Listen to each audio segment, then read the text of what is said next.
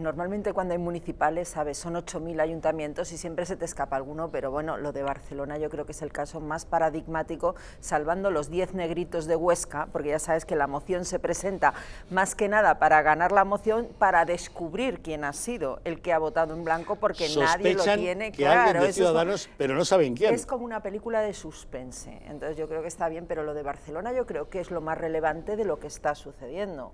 A ver, lo del señor Valls, yo ya dije aquí la última vez que estuve que me daba la impresión que la candidatura del señor Valls respondía a la idea de aquellos que siempre creen que lo que es de fuera es mejor que lo propio. Y entonces había que importar a un francés que ya había fracasado en Francia, ponerlo de candidato y quitar a otra gente solvente que tenía ciudadanos en Barcelona, como Karina Mejías, Jordi Cañas, etcétera, etcétera, para dar paso al señor Valls. Bueno, ahí tienen las consecuencias de un candidato que jamás ha entendido España, que no entiende cómo es la política nuestra y que todo lo hace en clave francesa.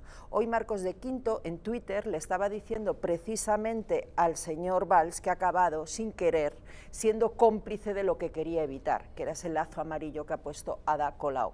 Yo creo que aquí hay dos categorías, una son las anécdotas. Nosotros tenemos, por ejemplo, que hay un pueblo, no recuerdo el nombre, donde PP y Ciudadanos han votado al candidato de Podemos para evitar que gane el PSOE, que son pueblos y son cosas que no tienen más trascendencia. Tenemos en Burgos, por ejemplo, que ha hecho Vox en Burgos, que ha salido un alcalde socialista.